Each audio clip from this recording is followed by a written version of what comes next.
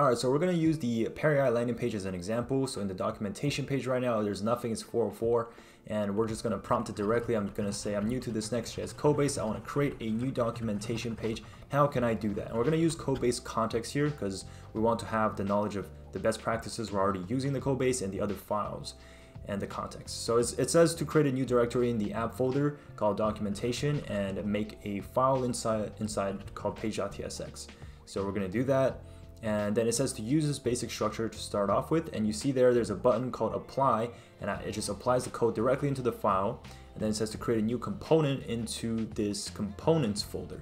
So we're going to go find it and create a new file called documentation.tsx so this is going to be the, the actual component. And we're just going to prompt it directly by using command i which is inline code generation. And we're going to say to you know use that previous file but also uh, create the actual UI for it by having some buttons on the left side and the text on the right side. And then it generates it. Um, I'm just gonna wait for this to finish and press Command Shift Enter to accept the changes.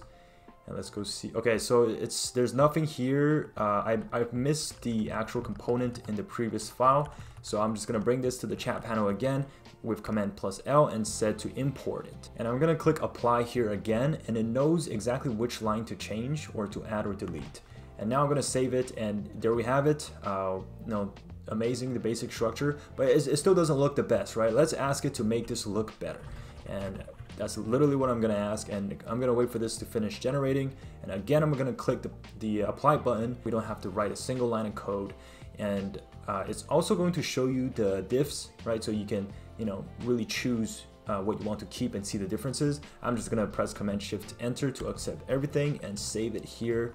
And let's go back there you go. Wow, this is so much better, right? So much better. And there we have it. We have a great foundation to start our documentation page without writing a single line of code, without having to know much about Next.js, React, or this code base.